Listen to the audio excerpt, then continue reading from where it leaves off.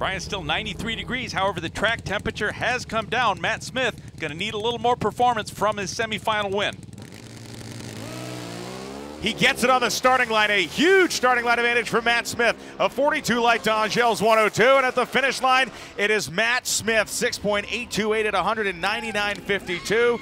The great riders can figure out a way to get it done, and he just did. Well, Matt, you become countdown clinch today, three races ahead of time. You're holding uh, yet another Wally this season. You said that it's hard work, but it's got to be just more than that. What is it, Matt? No, it's hard work. I mean, it's just this team is unbelievable. I mean, between my wife, Nate, Cookie Man, Michael Ray, everybody that helps us.